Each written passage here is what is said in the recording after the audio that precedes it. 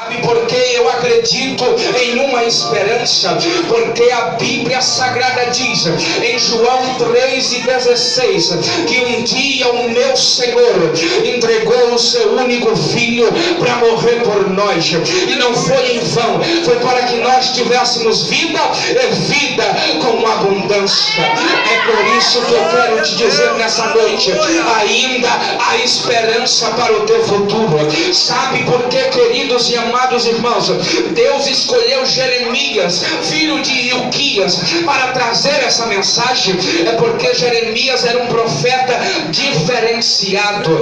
A Bíblia diz e deixa bem claro que Jeremias era um profeta que tinha sua vida mais aberta para o povo, que tinha sua vida, vamos se dizer assim, mais visivelmente declarada. Como assim? Se nós lermos o, o livro do profeta Jeremias, nós vamos observar observar uma semelhança com a de Cristo. Por quê? Porque Jeremias, assim como Cristo, chorou pela nação. É por isso que ele ficou conhecido como profeta chorão, aquele que se humilhava. E diz a Bíblia e os estudiosos também que Jeremias sofria, era escarnecido, era humilhado pelo povo, mas ele sempre chorava pelo povo, sempre buscava pelo povo, sempre adorava orava pelo povo, mas tem um porém: Deus não escolheu esse profeta porque ele era um qualquer, ele era diferenciado, ele foi aquele que no capítulo 1 ouviu a voz de Deus dizendo: Eu te escolhi. Mas talvez, irmãos, quando ele ouviu isso, ele parou um pouco e ficou pasmo. Mas Deus falou uma coisa para ele que não falou para nenhum outro. Deus disse: Eu te escolhi, mas a a minha escolha foi uma escolha especial. Como assim? Porque eu te escolhi ainda antes que você nascesse. Aleluia! Antes que você me conhecesse. Como assim? Jeremias, eu te escolhi antes que você saísse da madre. E eu te dei as nações por profeta. Mas Jeremias era um garoto qualquer. Era um garoto comum. E como qualquer pessoa comum que vive jogada na ilusão do mundo, não acredita em esperança, não acredita em futuro. E ele olhou para Deus e disse: Senhor, mas eu não sou ninguém, eu tampouco sei falar, sou apenas um menino. Mas Deus levantou a voz em seu coração e disse: Não diga que és um menino, porque aonde eu te mandar, tu irás, e o que eu mandar, tu Eu quero trazer mais aberto nessa noite, queridos e amados irmãos. O que tem acontecido no nosso meio é que muitas das vezes o diabo tem dito não vai dar certo, o diabo tem dito vai parar por ali, vai acabar, mas enquanto a palavra de Deus arder no meu coração, ainda que o diabo esteja dizendo que não vai dar certo, Deus me trouxe aqui para dizer nessa noite: ainda há futuro, ainda há esperança, ainda há futuro, ainda há esperança. Lamentações 3 e 29. Põe a tua boca no pó, ainda há uma esperança. Tem alguém dizendo que vai parar, mas Deus está dizendo ainda há esperança. Tem alguém dizendo que acabou, mas Deus está dizendo ainda há esperança. Tem alguém dizendo já basta, mas Deus está dizendo ainda há esperança. Quem acredita? Quem acredita? Quem acredita?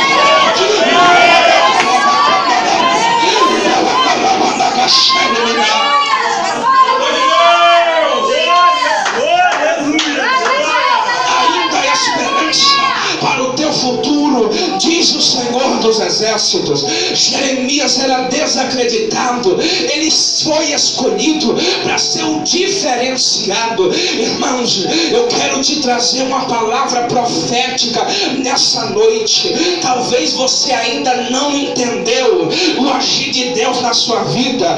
Diz a Bíblia que Deus deu uma ordem a Jeremias dizendo: Tu não vai poder casar, tu não vai poder ser pai, tu não vai poder ter Mas por quê?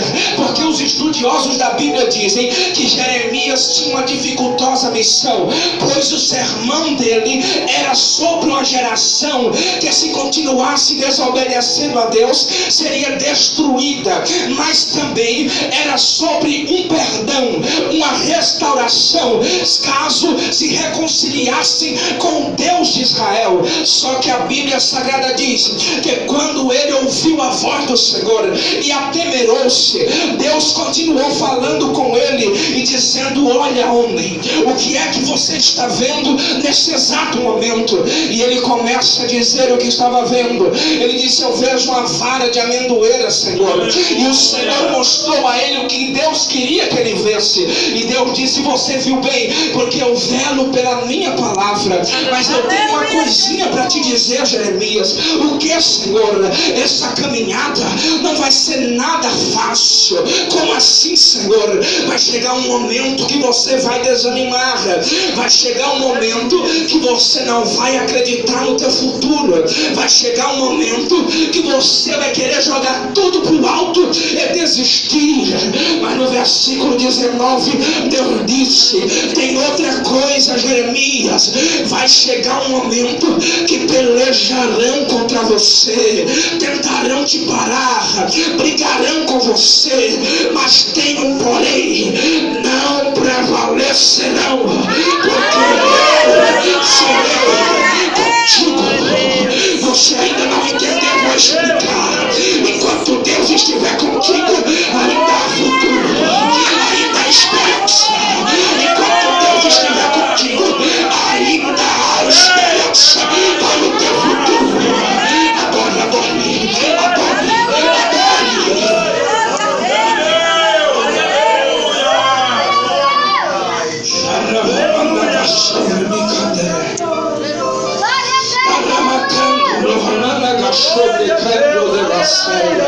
Ainda há esperança para o teu futuro. Só que a missão de Jeremias? Era bem diferente, porque porque ele teria que pregar uma palavra que não ia ser bem agradável aos ouvidos de muitos daquela época, mas ele continuou pregando. Mas o que Deus falou começava a se cumprir, porque porque Jeremias olhava para o povo e não via mais aquele brilho no olhar, não via mais aquele brilho sagrado do Espírito Santo de Deus. Jeremias não via mais o ânimo para o povo guerrear, e ele começou a observar que o povo estava um pouco triste, decadente, e ele começou a desacreditar no futuro de Israel. Quem leu a Bíblia vai lembrar muito bem que foi nesse exato momento que Deus chamou Jeremias para uma conversa de canto de parede e Deus começou a falar com ele dizendo Jeremias, eu tenho uma coisinha para te falar, eu tenho uma coisinha para te mostrar. Eu sabia que esse dia ia chegar, irmãos. Não se engane com nosso Deus, porque Ele sabe de todos os nossos passos, Aleluia. tudo que está acontecendo, tudo que vai acontecer já está calculado na matemática do Senhor. Aleluia. Nada vai sair fora do alcance dele. Ele começa a falar com Jeremias: Jeremias, você acha que não tem esperança, mas vem aqui. E foi aí que Deus começou a dar uma visão para ele. Jeremias capítulo 18, ele começa a escrever dizendo: Eu desci até a casa do oleiro. Eu ouvi a voz dele dizendo: Vem cá, que eu vou te mostrar uma coisa. Quando ele desce na casa do oleiro, estava o oleiro fazendo o vaso, mas de repente o vaso se quebra na mão do oleiro, e de repente ele começa a enxergar o oleiro juntando os cacos, amassando a argila e começando a refazer o vaso quebrado, até que ele fique perfeito e em perfeito estado. Quando ele viu aquilo, Deus começou a falar com ele, dizendo: E aí, Jeremias, você viu o que aconteceu? Eu te pergunto: será que eu não posso fazer contigo ou com o povo de Israel o mesmo que, o, que esse homem fez com esse vaso? Deus estava dizendo para Jeremias: ainda que você não acredite, ainda há esperança. Sabe por quê? Porque sou eu que estou na frente do meu povo. Enquanto o povo for meu, ainda haverá jeito. Enquanto o povo for meu, ainda haverá esperança. Glória a Deus. Glória a Deus. Aleluia, Jesus. Glória a Deus, aleluia, Pai. Santo, Glória a santo é teu Deus. nome. Glorificado e Deus exaltado maravilhoso. seja o teu nome. Mas eu sei, queridos, que nos dias que nós vivemos é difícil acreditar nisso. Quando Jeremias ouviu a palavra do Senhor, ele ficou contente, ele ficou alegre. Mas o mais interessante de tudo isso é que dois capítulos depois, do capítulo de número 20, Jeremias começou a indagar a Deus novamente. Irmãos, quando eu olho para a Bíblia e começo a receber a revelação da palavra, eu entendo que da mesma forma tem acontecido conosco. Talvez a gente não entenda por que, eu conheço tantos homens que pregavam, que cantavam, mas de repente se desvaneceram, que pararam, que não são mais o que eram antes. Quando Jeremias ouviu a palavra de Deus, ele acreditou no Senhor, mas dois capítulos depois ele foi indagar a Deus novamente. Ele começa a conversar com Deus no capítulo 20 e começa a dizer: Senhor, eu não vou mais fazer isso. Mas como assim, Jeremias? Ontem mesmo eu te mostrei que eu posso reformar, que eu posso levantar, que eu posso fazer e acontecer. Ele disse: Mas não adianta, Senhor. Por quê? Porque eu sirvo de escárnio. Como assim? Eu prego e eles zombam de mim. Eu falo e eles não querem ouvir a tua voz, não querem ouvir a tua palavra. Quando eu passo na rua, eles ficam zombando de mim, me criticam. Jeremias olhou para Deus e disse: Eu não me lembrarei mais das tuas palavras e não falarei mais em teu nome. Irmãos, chega um momento na vida de qualquer ser humano que ele vai querer jogar tudo pro alto e dizer: Eu não quero mais fazer a tua obra. E eu quero aqui abrir um parêntese, porque eu estou pregando para mim também. E quero dizer que um dia eu pensei dessa forma. Se não me falha a memória, era no ano de 2012. Eu estava em Maceió e eu estava cansado de tanta perseguição. Eu tinha 16 anos na época, mas eu já pregava. E eu falei para Deus no meu quarto, eu disse, Deus, o Senhor tem quem pregue melhor do que eu. O Senhor tem quem cante melhor do que eu. Eu não quero mais pregar, Senhor. Eu não quero mais cantar, Senhor. E eu saí do meu quarto, era aproximadamente umas sete horas da noite. E eu fui caminhando até uma praça que tinha próximo ao bairro que eu morava. E quando eu chego lá, eu encontro alguns primos meus. E eles estavam com alguns colegas. E quando eu me aproximo, irmãos, eu pasmei com a visão que eu tive naquele dia. Porque quando eu cheguei lá, eu nem sabia.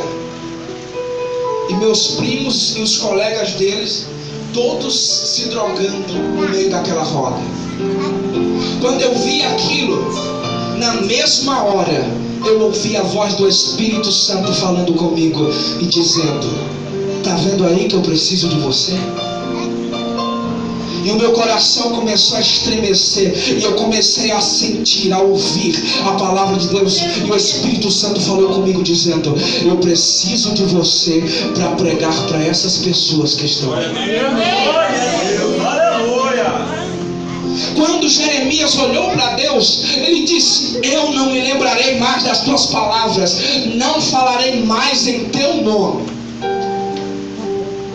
Mas quando ele fechou a boca, que ele abriu de novo, ele continua dizendo no texto: Mas quando eu disse isso, as tuas palavras arderam como fogo nos meus ossos. Sabe o que é isso, queridos? É o Espírito Santo dizendo: Não tem como parar, não tem como parar.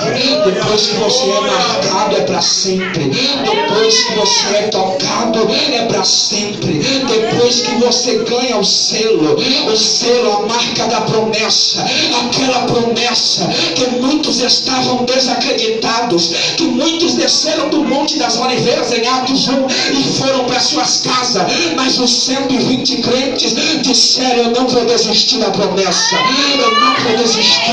Correram para a igreja, talvez era uma igreja pequena como essa, mas a Bíblia diz que a glória encheu a casa, por quê?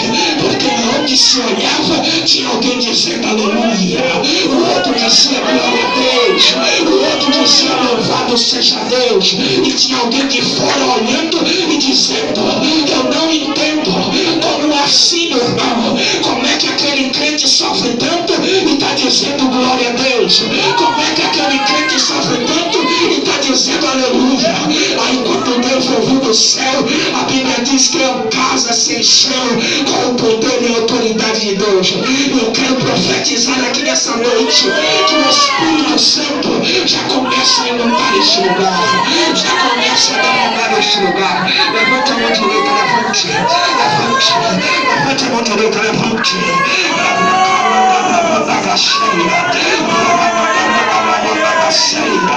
Aleluia, aleluia, adore, adore, deixa eu dizer nessa noite.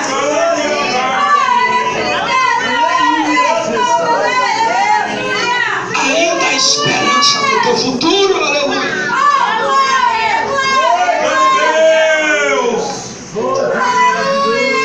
Arracando rohamanda na shode kato remane basare kanaba. Erevene kando gosheminde kasu nemede kalavana gasare. Rokamando yande kasu nemede kalavana gasare remede kasu de kaya. Recanto sonde canto kamana gasare. Feche os teus olhos se Deus está me dando algo diferente aqui nessa noite.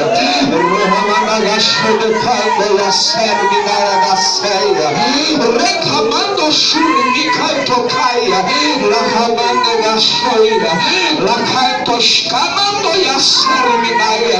Deus está falando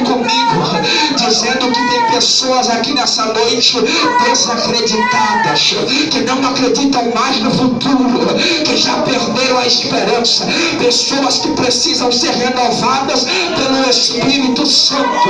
E Deus está dizendo, levanta a minha direita, levanta profético isso aqui, levanta.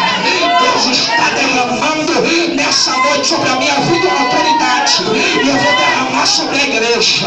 Deus está dizendo, pessoas, você que entrou aqui desacreditado, eu vou te renovar hoje.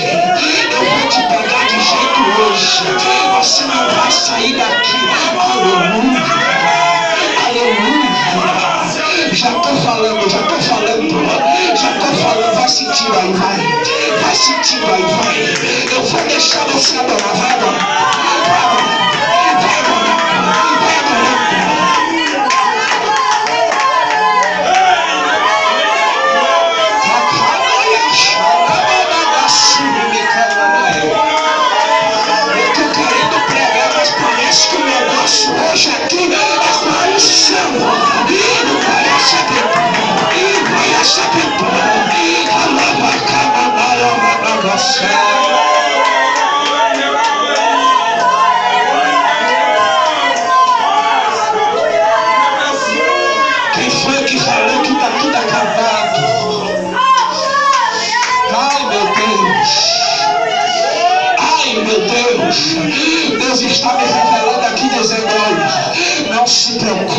Sabe aquela pessoa que vive jogando na tua cara as coisas ruins que te acontecem?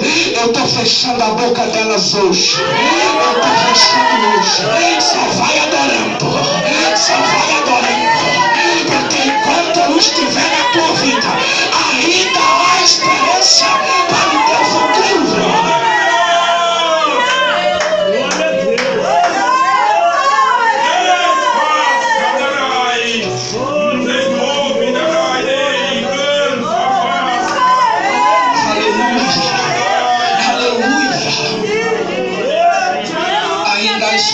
Esperança para o teu futuro.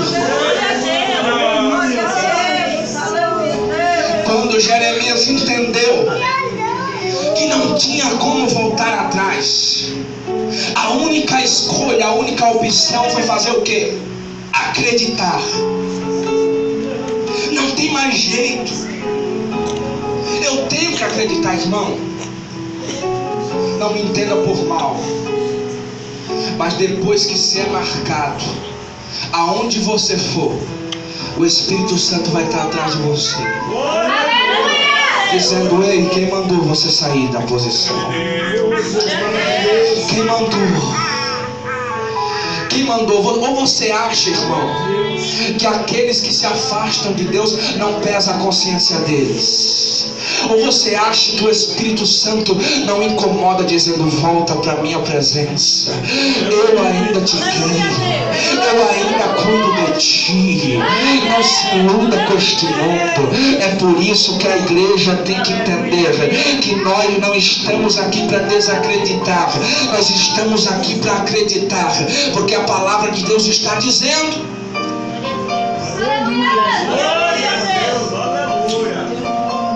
Irmãos, quando Ezequiel, que foi um contemporâneo, quando ele teve a visão do Vale dos Secos, lá no capítulo 37, qualquer um que tem uma visão como essa, vai achar que acabou. Por quê? Porque quando Deus fez ele dar a volta no meio do vale, ele disse: Eu vi a quantidade de ossos muito numerosa sobre a face do vale. E estavam sequíssimos. Estava tudo acabado. Mas de repente Deus disse a ele: Porventura poderão viver esses ossos? E ele disse: Senhor, eu não sei, mas tu sabes. Ele disse: Então profetiza sobre estes ossos. Como é, Senhor? Profetiza sobre esses ossos secos. Mas, Senhor, está todo morto. Não tem mais jeito. Não dá mais. Sabe aqueles crentes que diz assim: Não vou orar mais por Fulano. Já era, não tem jeito. Não vai mais subir. Vai continuar no chão.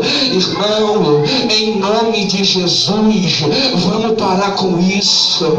Sabe aquelas pessoas que desacreditam no próximo, que diz que não tem mais jeito. Imagina se Ezequiel dissesse assim: Olha, Deus, não não vou orar, porque não tem jeito, é só ossos secos, é só caixa craniana. Mas Deus disse: profetiza sobre estes ossos, porque eu quero te mostrar que enquanto eu tiver um negócio, ainda há esperança, ainda pode subir, ainda pode crescer. Aleluia! Deus.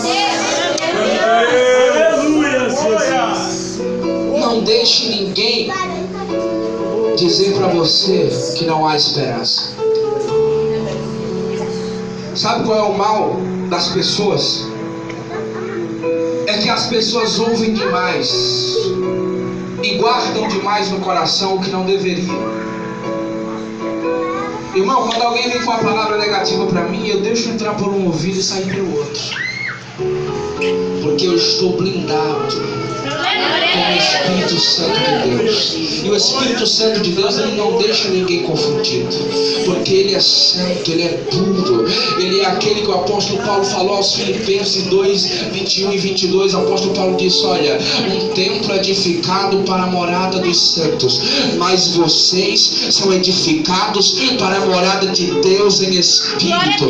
Nós somos templo do Espírito Santo, e o Espírito Santo não nos deixa enganar. Glória a Deus. O povo de Deus da época de Jeremias era era o mesmo povo que nós vemos hoje. Um povo desacreditado muitas das vezes. Um povo que murmura muitas das vezes. Um povo que espera demais do profeta, mas não busca nada. Vou dar um exemplo. Pessoas que esperam demais de pregador, de pastor, mas não buscam conhecimento próprio. É o mesmo povo, é a mesma história. Só que o Deus também é o mesmo. E se o Deus que segurou o povo no passado está também no futuro, Ele também vai segurar o povo no futuro. O povo não vai sair, o povo não vai se desviar. Sabe por que o nosso Deus nos comparou com uma palmeira, irmão, e não com um coqueiro? Ele nos comparou com uma palmeira porque a palmeira é diferente do coqueiro. Por quê? Porque a palmeira tem uma raiz que ela enrama no chão e consegue chegar até 100 metros de profundidade buscando água. Então, se você prestar atenção, quando está dando os grandes ventos, a palmeira ela balança para um lado, balança para o outro, mas ela sempre se firma, ela nunca cai. Sabe por quê? É isso que Deus está dizendo para nós.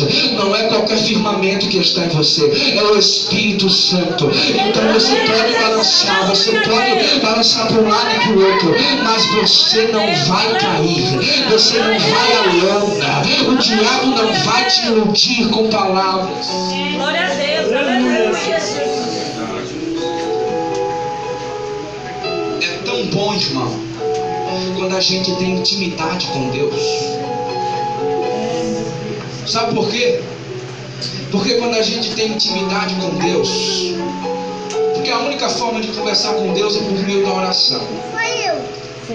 Então, quando a gente tem intimidade com Deus, nós somos alertas, nós sabemos o que estamos fazendo, nós sabemos o que vamos fazer, não é uma coisa do acaso, é tudo pensado com a ordem do nosso Deus nos direcionando, dizendo: vai por ali que está certo.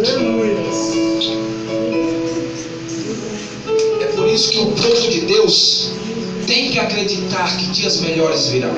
O povo de Deus não pode cair na- nessa onda de achar que está bom demais, que tudo acabou. O apóstolo Paulo disse em uma das suas cartas, à igreja de Roma, no capítulo 12, versículo 2, ele disse: Olha, não se conforme com este mundo. Não se conforme com essa vidinha que vocês estão levando mas saibam qual é a boa, perfeita e a vontade agradável de Deus. Procurem saber, procurem conhecer, para que vocês possam acreditar que ainda há esperança para o seu futuro. Fica de pé nessa noite, irmão. A hora já foi embora. Aleluia.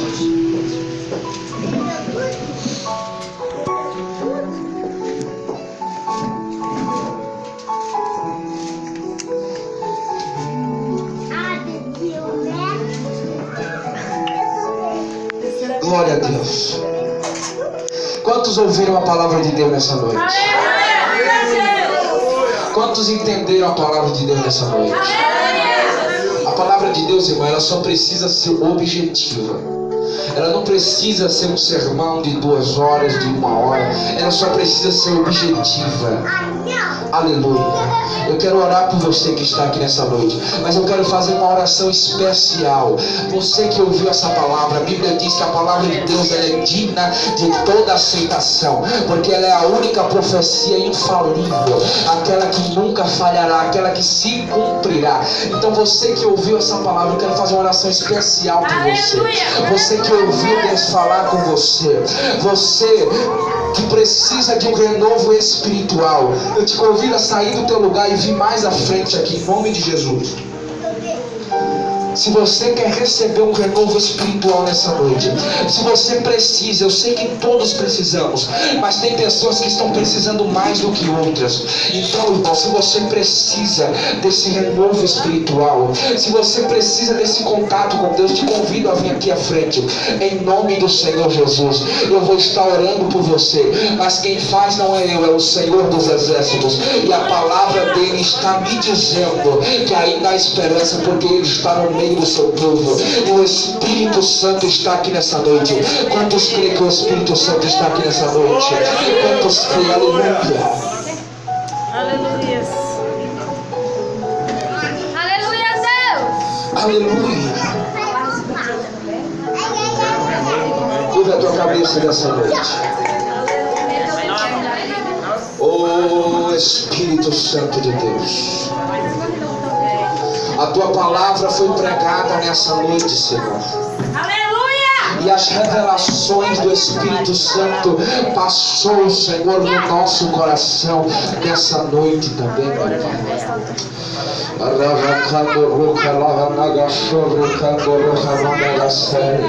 É por isso que eu te peço, Senhor, a unção que tu me mostrasse desde quando eu entrei neste lugar, a unção que vai refrigerar a alma do aflito, a unção que vai consolar aqueles que estão tristes, a unção, Senhor, que vai desembaraçar os corações contritos. É essa unção que eu estou sentindo aqui nessa noite. Eu sei que mais alguém sentindo ela comigo, Jesus. Porque o Espírito testifica, meu Pai. Então, meu Deus, assim como eu te peço sempre aonde eu vou, coloque agora, Senhor, perto de mim um anjo com a espada flamejante, Pai. E que ele traga o refrigério, que ele traga alegria, que ele traga unção do teu Espírito Santo. Aleluia, aleluia. Igreja, adora ele porque ele está aqui. Abre a tua boca para adorar. Jesus quer tocar na sua alma. Jesus quer tocar na sua vida. Meu Deus, eu vou orar por essa igreja santa, meu Pai. Eu vou orar por esse povo escolhido, meu Deus. Mas eu só vou fazer aquilo que o Senhor colocar no meu coração, meu Pai. Eu te peço nessa noite, Jesus.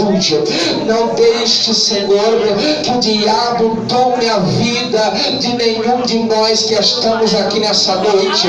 Porque nós saímos de nossas casas, não foi em vão. Nós viemos prestar um culto em homenagem ao teu poder, meu Pai, a tua soberania. É por isso que eu te peço, comece a esparramar as brasas de glória que eu estou vendo aqui nessa noite.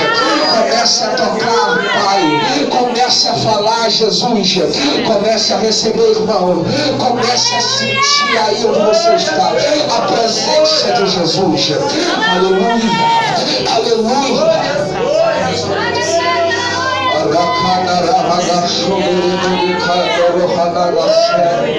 medo chega em aflição. Aleluia. que sustenta o coração. Aleluia, Glória a Deus! Deus. Deus maravilhoso! Adorar Ele nessa noite. Aleluia. Glórias, aleluia!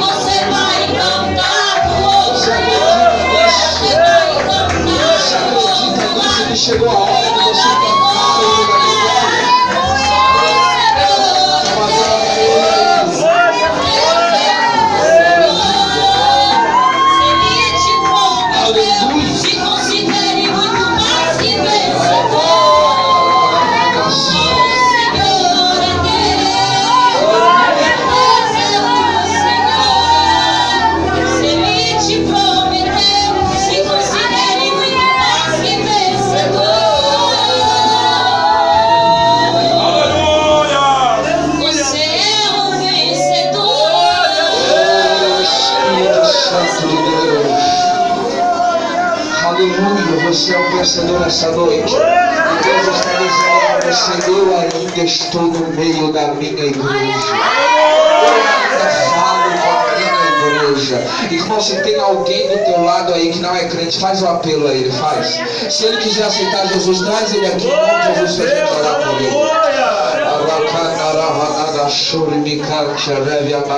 ele. Deus ainda está falando aqui nessa noite. Deus ainda está falando aqui nessa noite. Aleluia. Aleluia. Aleluia. Aleluia. Oh, aleluia. Oh, aleluia. Oh, aleluia. Oh, aleluia.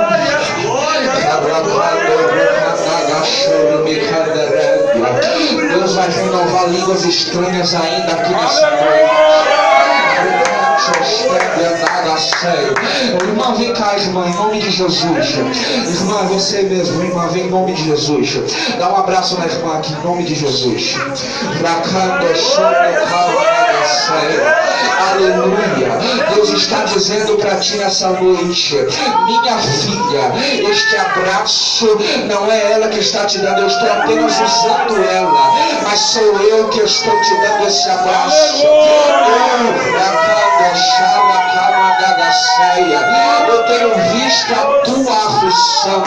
O homem enxerga por fora, mas eu enxergo por dentro. E eu enxergo. Eu estou cicatrizando a ferida. Recado Requiasturmicalavacaia. É por isso que nessa noite eu faço as lágrimas rolar no teu rosto. Sabe por quê? Porque junto com essas lágrimas a ferida está sendo cicatrizada. E Deus está te dando um ânimo novo hoje. Em nome de Jesus. Em nome de Jesus, receba o renovo dele. Receba o abraço dele. Receba a presença dele. Receba a vitória dele. Ainda há esperança. Ainda há esperança para o teu futuro. Diz o Senhor dos Exércitos. Cadê a igreja que adora? Cadê a igreja que adora? Igreja abrir a boca e adorar, irmãos. É tempo da igreja mostrar para o inferno que ainda há adoradores na terra. Que a igreja está viva e bem viva. Aleluia. Aleluia. Aleluia. Aleluia. Oh, Espírito Santo de Deus. Escolhe uma pessoa bonita aí do teu lado. Escolhe, dá um abraço nela. Dá um abraço nela. Dá um conforto para ela. Dá, irmãos. Aprende isso. irmão. Abraçar o teu próximo. Dá um abraço. Fala para ela. Eu estou orando por você. Fala. Fala para ela. Ainda há esperança. Deus é contigo. Eu estou aqui para te ajudar. Pode chorar no meu ombro. Fala. Fala.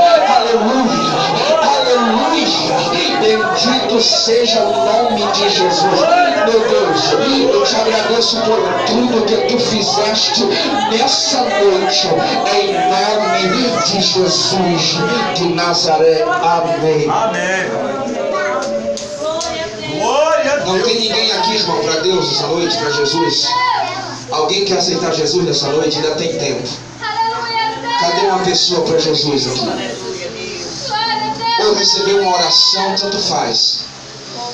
Se você não quer, a palavra de Deus diz em Zacarias 4 e 6 que nem é por força e nem por violência. Aleluia. Aleluia. Glória a Deus. Glória a Deus. Aleluia. Aleluia, Jesus. Glória a Deus. Glória a Deus. Glória a Deus. Glória a Deus. Glória a Deus.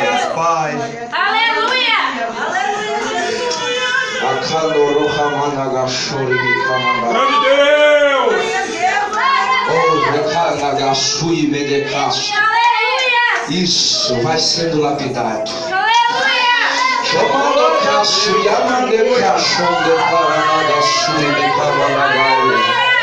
Sou eu que estou tocando em ti agora. Eu falei contigo nessa noite, né, meu filho? Aleluia. Tu já percebeste, tu enxergaste que não tem como mais desapegar de mim porque eu te escolhi. Eu te separei, alacando chorevana da ceia. Eu te chamei para brilhar no meio da escuridão. Tu será a luz que acenderá no meio da escuridão. Recado chonde kawanaga ceia. Rocacho yamante osuri kawanaga saia. Aleluia. Eu te faço uma promessa hoje, meu filho. Kamanderaya.